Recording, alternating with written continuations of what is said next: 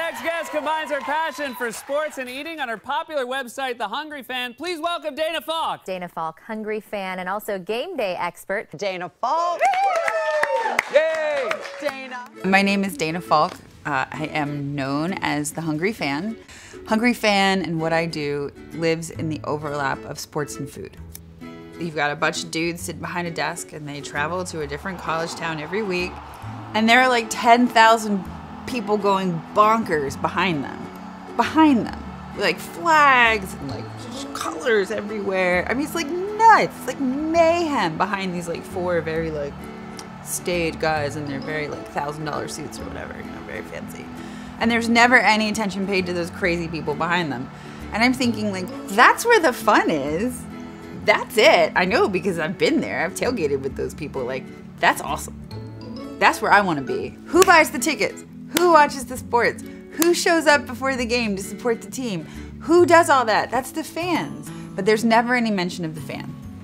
And so I thought, okay, there should just be, there should be somebody like a curator, an expert, a, a voice of authority to to be that person for the fan, to help them have a better game day.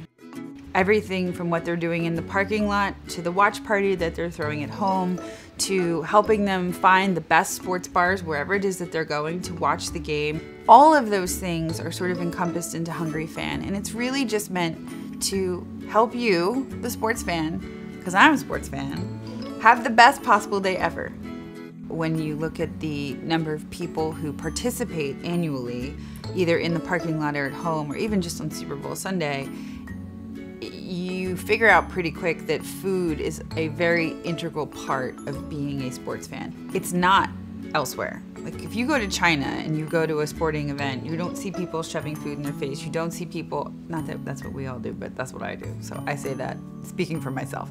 But you don't see people, there's no tailgating. Like people don't show up early. There's no cars parked in the parking lot where people are like hanging out. It's just, it's not a thing. We do it here. It's really uniquely American, which I think is really cool. I came up with a recipe for buffalo chicken tacos. So basically taking the bone out and using like boneless tenderloins to take that same tangy, yummy, sort of sour, tart, spicy flavor and put it on a tortilla with like blue cheese crumbles instead of the blue cheese dip.